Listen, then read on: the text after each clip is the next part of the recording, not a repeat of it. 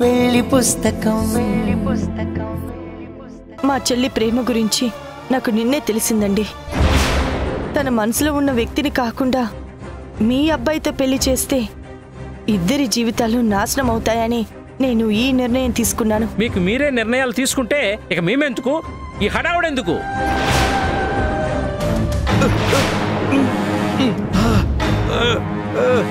sir sir dad dad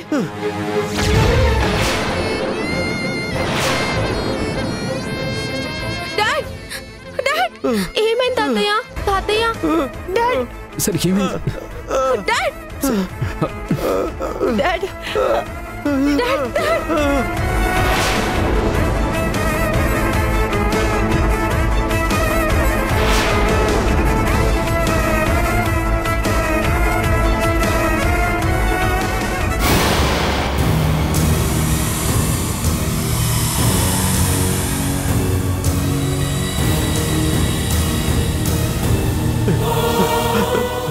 లైఫ్లో first time నీ నిర్ణయం నాకు నచ్చలేదమ్మా. సార్ అసలు ఏం జరిగిందో? మేము ఎలాంటి పరిస్థితుల్లో చందుని తీసుకొచ్చామో వివరంగా నేను చెప్తాను వినండి. ఆ తర్వాత నిహారిక గారి నిర్ణయం గురించి మాట్లాడండి.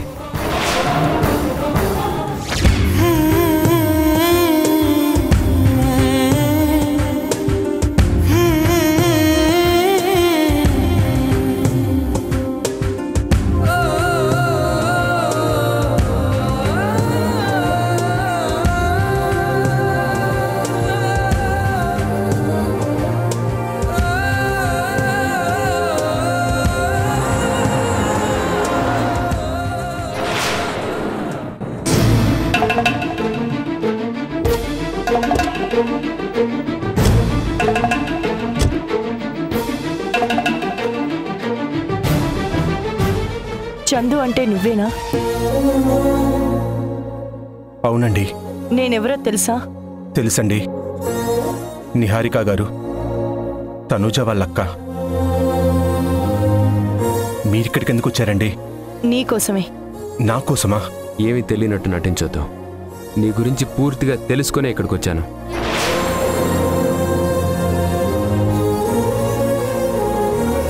నా చెల్లి లైఫ్ని డిస్టర్బ్ చేసి నువ్వు మాత్రం ఇక్కడ ప్రశాంతంగా కూర్చున్నావా? నేను ఒంటరిగా కూర్చున్నానే కానీ ప్రశాంతంగా లేనండి. ప్రేమ వల్ల ఒక మనిషి డిస్టర్బ్ అవుతాడని తెలుసు కానీ తనుజ లైఫ్ని డిస్టర్బ్ చేయాలని తనని బాధ పెట్టాలని నేను కల్లో కూడా అనుకోలేదండి. అంటే ఏంటి? నీ తప్పేమీ లేదంటున్నావా? కాదండి. తప్పంతా నాదే. ఒక అమ్మాయి మనసుకు నచ్చగానే ప్రేమని ఎక్స్ప్రెస్ చేయడం తప్పేనండి. ఆ ప్రేమలో మునిగిపోతూ ఆస్తిని అంతస్తుని గుర్తించకపోవడం ఇంకా పెద్ద తప్పు. తనూజాకి పెళ్ళి సంబంధం కుదిరిందని చెప్పగానే ఆ వ్యక్తినే పెళ్ళి చేసుకోమని చెప్పాను.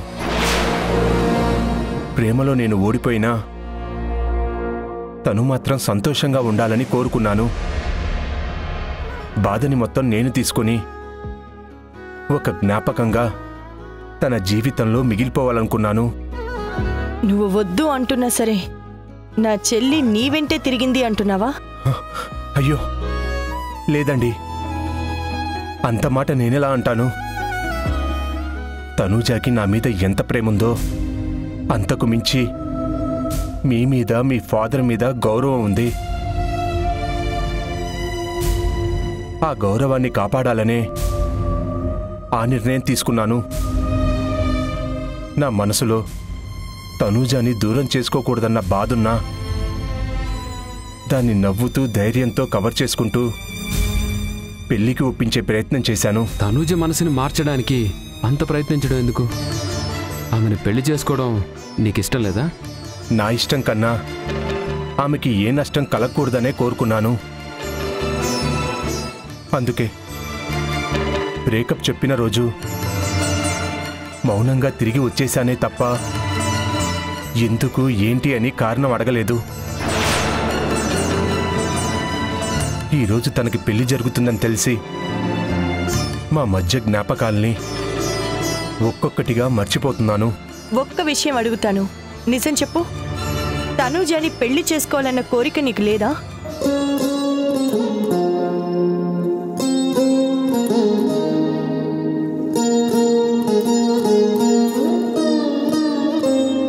అడుగుతున్నాను కదా. పెళ్ళి చేసుకోవాలన్న కోరిక నీకు లేదా? లేదండి. నేనెక్కడా తనుజ ఎక్కడా? మా ప్రేమ గురించి ఆలోచిస్తుంటేనే నవ్వొస్తుంది. పరిచయమై కొన్ని రోజులకే ప్రేమలో పడ్డాం. వెంటనే పెళ్ళి చేసుకోవాలనుకున్నాం. అదంతా జస్ట్ అట్రాక్షన్ అని ఇప్పుడు అనిపిస్తుంది. అంటే? నీది నిజమైన ప్రేమ కాదా?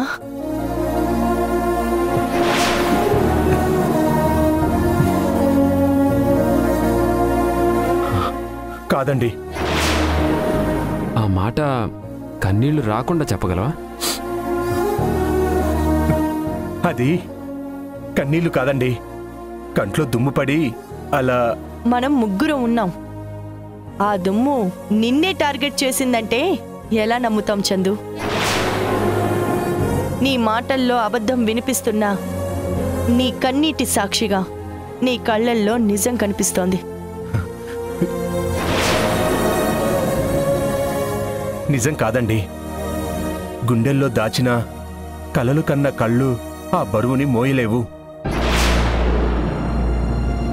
అయినా ఇప్పుడు నిజం చెప్పడం వల్ల జరిగే లాభం ఏముండదు. నేను మీ చెల్లి లైఫ్ని డిస్టర్బ్ చేయను. ఇంకెప్పుడు తనకి కనబడకుండా ఈ ఊరు వదిలి వెళ్ళిపోతాను. నువ్వు లేకపోతే నా చెల్లి బ్రతకగలదనుకుంటున్నావా?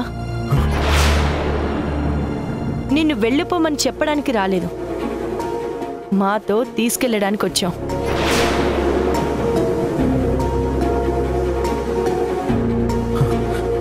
మీతో నేను ఎక్కడికండి?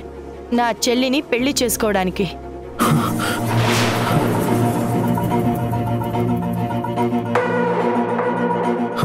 నేను? పెళ్ళి నాకేం అర్థం కావడం లేదండి. చూడు చందు మీ ఇద్దరి ప్రేమ గురించి నిహారిక గారికి నిన్నే తెలిసింది. నువ్వు తనుజ సంతోషం కోసం ప్రేమను చంపుకుంటే మా తనుజ కుటుంబం కోసం మనసును చంపుకొని ప్రేమని త్యాగం చేస్తుంది. నిజమైన ప్రేమ పెళ్ళితో గెలవాలి కానీ త్యాగంతో ఓడిపోకూడదు. నా చెల్లి మా కోసం మనసును చంపుకుందంటే అక్కగా నేను తనకి ద్రోహం చేసినట్టే. అందుకే నీ గురించి తెలుసుకొని నిన్ను వెతుక్కుంటూ వచ్చాను. మా ప్రేమను గెలిపించడానికి వచ్చిన దేవత మేడం మీరు. మీ మంచితనం గురించి చాలాసార్లు తనుజ చెప్తే విన్నాను. ఇప్పుడు ప్రత్యక్షంగా చూస్తున్నాను. పొగడ్తలతో టైం వేస్ట్ చేయకు చందు. అక్కడ ముహూర్తానికి టైం అయిపోతుంది. వెళ్దాం పద.